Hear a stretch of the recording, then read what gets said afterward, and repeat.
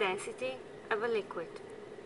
We put Erlenmeyer flask on the balance and we weigh its mass, the mass of the empty flask, you see.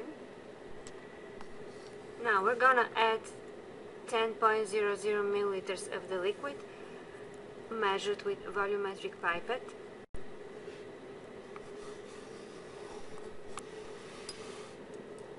Now we let the liquid drain by gravity, go by gravity, and we don't blow up the last drop. Just let it drain by gravity. Okay. Volumetric pipettes are calibrated so that they measure, this is 10 ml, and it measures exactly 10.00 milliliters. Now, we know the volume of our liquid and we know the mass.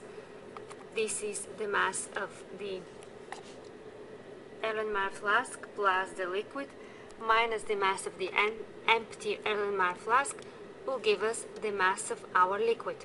We know the volume 10.00 milliliters, so we can calculate the density. If your liquid is antifreeze, then you pour it back into the container it came from. This way we recycle the antifreeze and we don't generate any waste.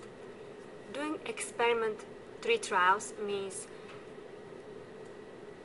doing the measurement three times, not doing it once and copying the result three times.